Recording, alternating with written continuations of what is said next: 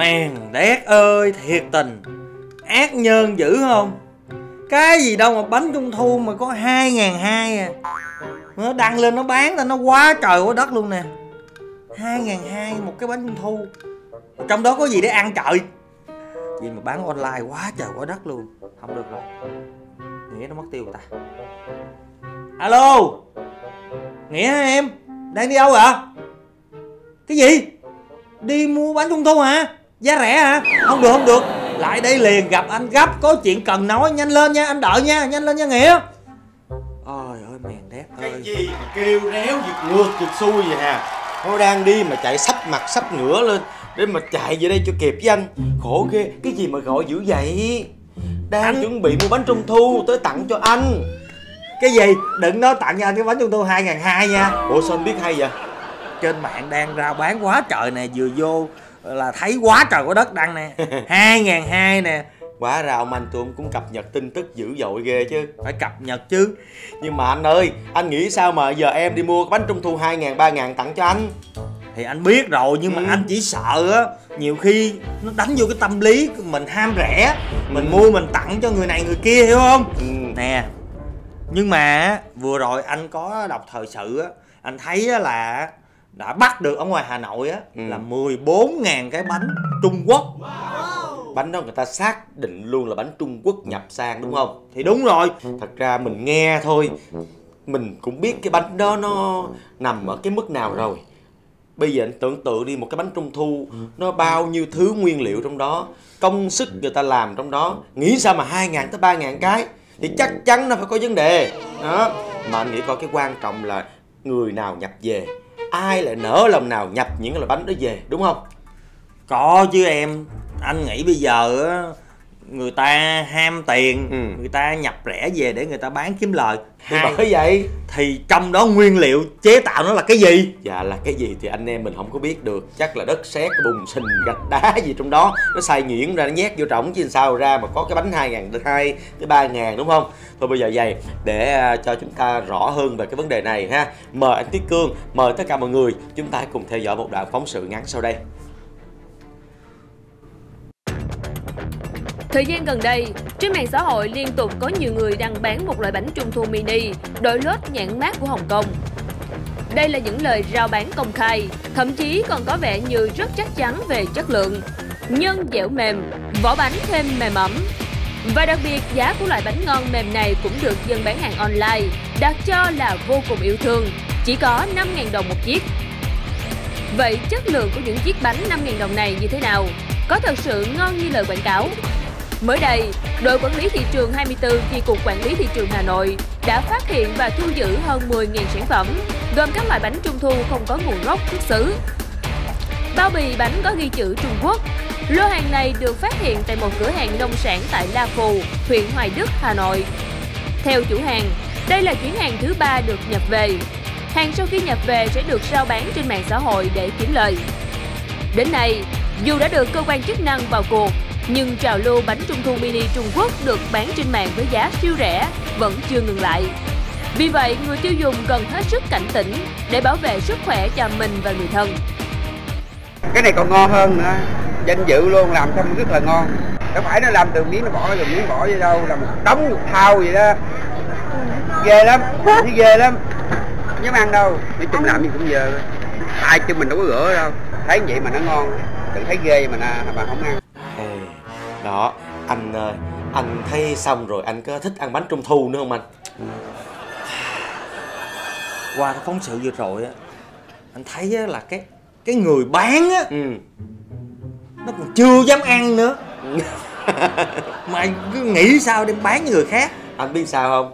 Nếu như người bán mà dám ăn thì làm sao còn sống để mà tiếp tục bán cho người khác?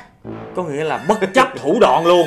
Dạ. Miễn sao bán có tiền có lời là họ làm à. Ừ ghê quá anh rất là buồn bởi vì bánh trung thu á Ừ. là thường mình làm ra để dành cho thiếu nhi. Dạ. Cho con nít nó ăn. Ừ, con nít rất là thích ăn bánh trung thu mà cái người bán họ lại không hề nghĩ tới sức khỏe của cộng đồng nghĩ đến sức khỏe của trẻ em. Dạ. Bởi vậy bây giờ sao vậy ta? Thì đó, bởi vậy mình cần phải có những cái biện pháp gọi là biện pháp chế tài. Tức là phạt thật nặng những cái đối tượng mà ờ, nhập hàng giả về hoặc là những cái ờ, đối tượng mà họ sản xuất những cái lương thực thực phẩm mà nó kém chất lượng. Phải bảo đảm vệ sinh an toàn thực phẩm thì mới được.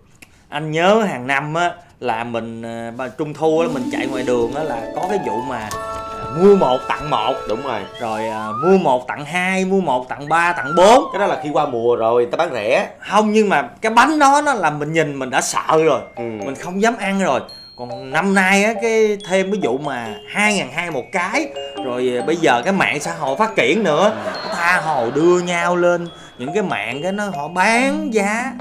Ôi trời ơi lọn lên hết rồi bây giờ sao? Từ bữa giờ có ăn bánh trung thu chưa? Chưa có ăn. Mà nghe nói xong vậy chắc hết dám ăn luôn á. Bây giờ mình không có biết là người ta đang tặng mình cái bánh loại nào luôn á. Thôi bây giờ vậy nè nếu mà tốt nhất á, thì có lẽ là mình cần phải kiểm tra à, thứ nhất là về cái gì? Thương hiệu. Thương hiệu. Đó mình kiểm tra coi thương hiệu đó đúng hay không. Mà thực ra cũng không được anh ơi nếu như người ta làm giả rồi thì cái thương hiệu nó giả mấy hồi đúng không? In cái bao bì giả mấy hồi. Bây giờ ta nói sao mà khó khăn lọn lạc để ăn cái bánh trung thu mà đúng chuẩn chất lượng khó quá.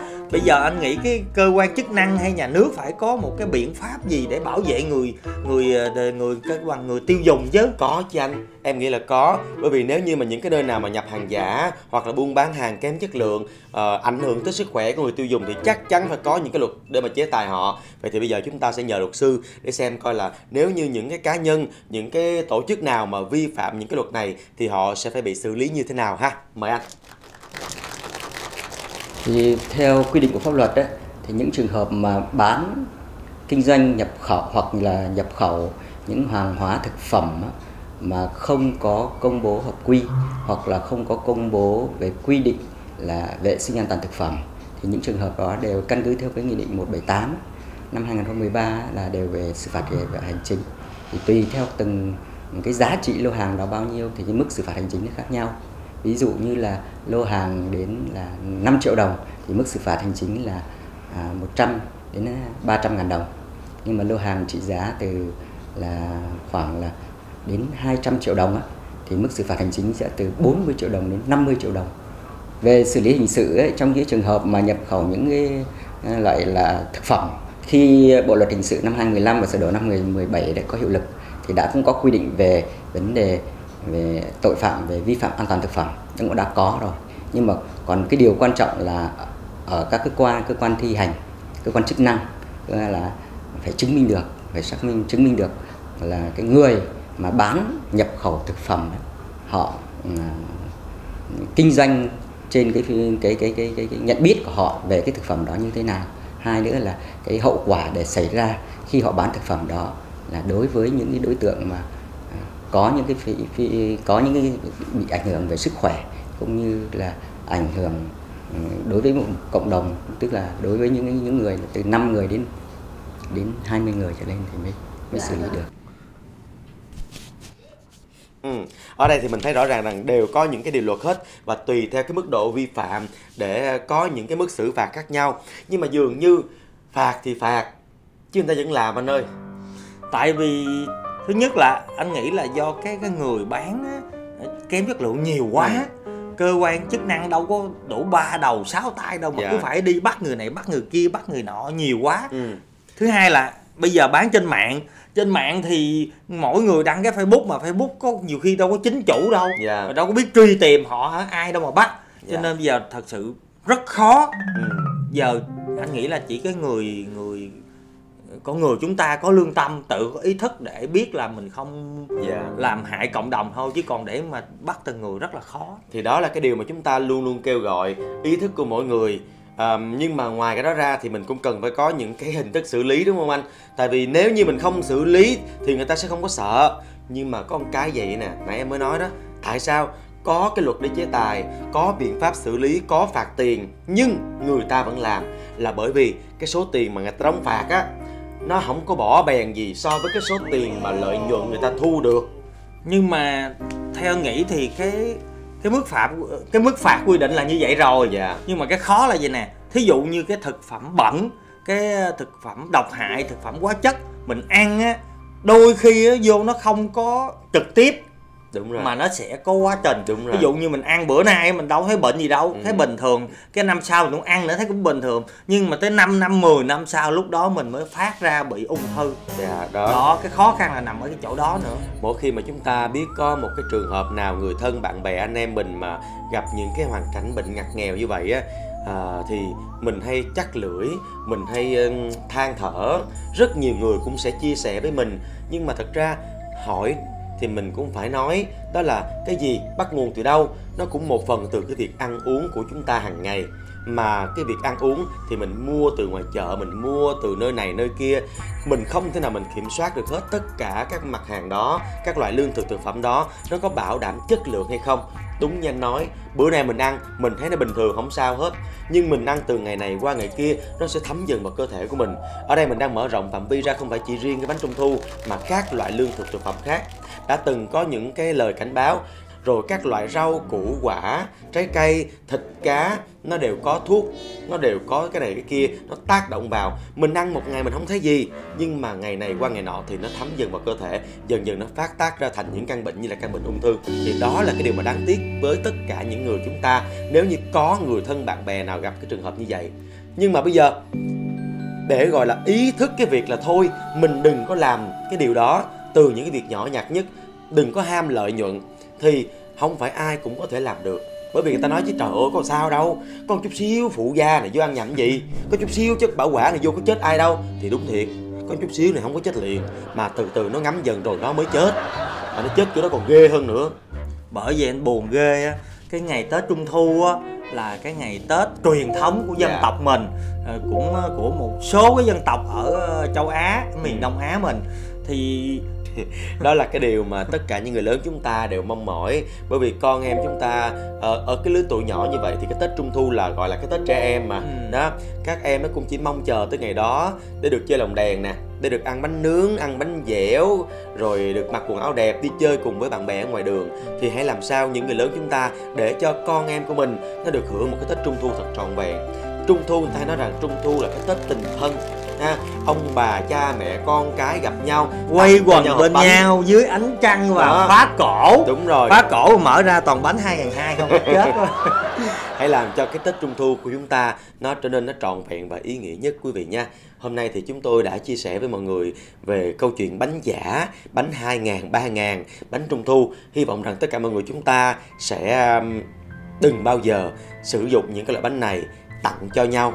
Bởi vì đó là một cái cách mà chúng ta giết chết nhau đó thưa quý vị. Nếu mà có ghét ai đó thì cũng đừng có tặng cái bánh này tội nghiệp họ lắm.